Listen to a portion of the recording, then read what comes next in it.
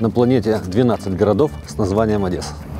Но только в нашем летом на пляже продают горячую кукурузу. А дворики в центре и на Молдаванке используют как фотозону.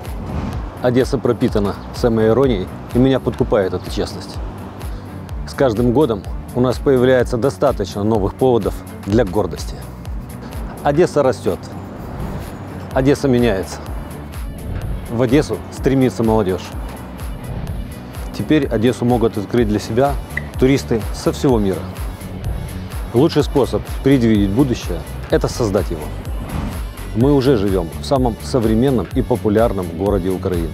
А для меня и вовсе в самом лучшем городе на земле. С днем рождения, моя Одесса!